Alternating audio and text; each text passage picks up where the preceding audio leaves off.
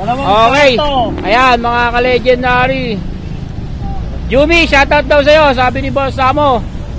Dalawang Dal- pato. Dalawang pato. Alak na lang kulang. Alak na lang. Ingatan. Ayan o, nag-deliver o. From Grab din yan, Green Hills. May dalawang pato na si Amo. Pulutan lang. Kung sinong gustong tumikim. Ano daw, ano daw? Ano daw luto? Sabi ni ano? Anong luto raw? Sabi ni Yumi. Amo, ano daw luto niyan? Tiradang luto niyan. Ah, adobo. Adobo, tsaka parang lechon Oo. o iniyaw. Pwede rin, kahit ano, basta pwedeng kainin. Sarap. Pwede rin naman tungkol eh, gawing ano ba to? Scabeche. Scabeche pa. Sarap. Grabe, may pagkain na kami ni Randy. No show. Okay, mga legendary. Ano, ano problema mo, Randy? KFC. Ito po, ang ating isang kasamahan dito. May nosyo siya ha.